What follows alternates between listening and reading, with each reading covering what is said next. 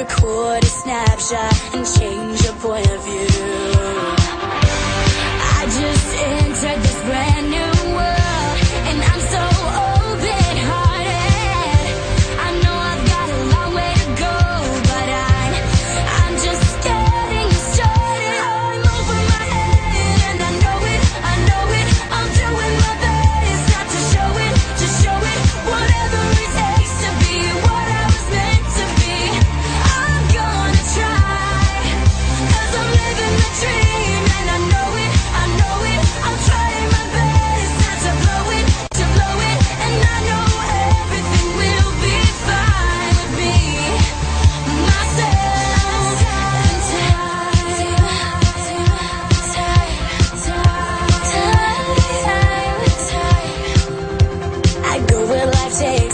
But some days I may